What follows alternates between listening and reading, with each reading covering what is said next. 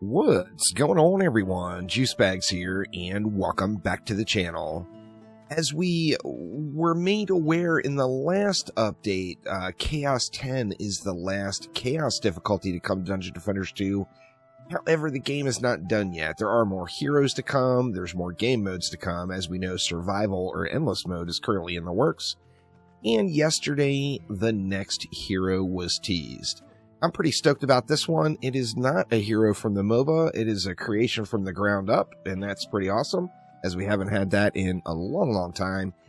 And this hero is the Hunter. Now, this is going to be a vampire themed hero that's going to function sort of like the Mystic, where the Mystic has the appeasement dropping on the ground. The Hunter is going to have blood orbs dropping on the ground to run around and pick up. Now, we did get two little teaser images yesterday. Uh, this one being the first one, which is just the concept art of the hunter. Uh, looks pretty awesome. Mechanical arm, looking quite good.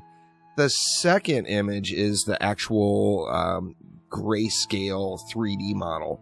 So this, of course, is just an image of the 3D model. However, these are the teasers we got yesterday.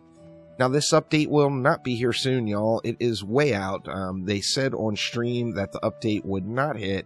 This hero would not launch until after the survival update. And we've got no word at all of when the survival update is even going to come. So many, many months away on this one. Nothing to get overly excited about right now. Just keep an eye out and know that there is more information to come and a new hero that is upcoming in Dungeon Defenders 2. That will do it for now. Thanks a ton for watching, and I will see you next time around. Take it easy.